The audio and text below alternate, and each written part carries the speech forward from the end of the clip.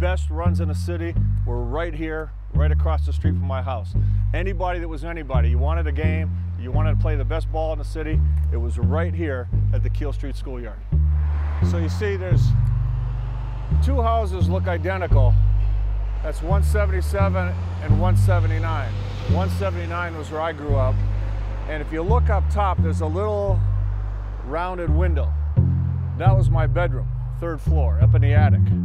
So I could be in my bedroom, look down to the court, and see if there was a ball going up, if anybody was playing, and that was my cue to just get down there. And the crazy thing is I could be playing all day, I'd be exhausted, I go into my room, I look out, I see a ball going, I come right back. Didn't matter, you gotta play. After we play ball late at night, we go sneak into the apartment buildings, the pool.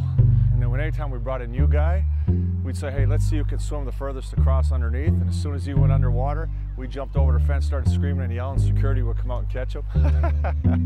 so this is the old laneway.